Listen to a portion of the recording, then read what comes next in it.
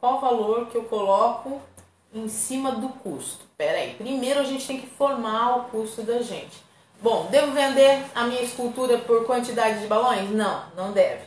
Por que não? Porque os balões são produtos industrializados, tá? E a sua escultura, ela é uma arte. A partir disso, a gente entende que toda vez é, é, a mecânica de preço, a mecânica de produção, a linha de produção de uma indústria é diferente de, uma, de um profissional liberal, entendeu? De um decorador. Então, não, você não vai fazer o teu, a tua escultura por quantidade de balões, tá?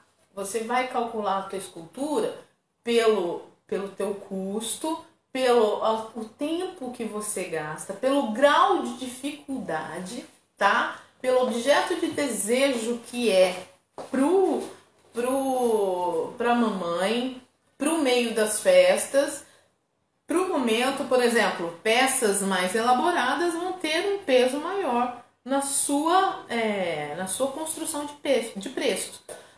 O mesmo cálculo para o balão é o mesmo cálculo para a, o aluguel de montagem, eu coloco tudo junto, eu como é que eu faço? É diferente as formas do cálculo, de novo, por quê?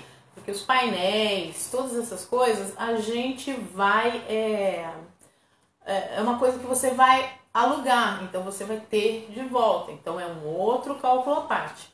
Para quem trabalha com as duas áreas, o importante é ela entender que uma coisa complementa a outra, mas são duas duas coisas independentes. Tanto é que tem gente que só monta a mesa e tem gente que só trabalha com balão. E tem gente que faz os dois.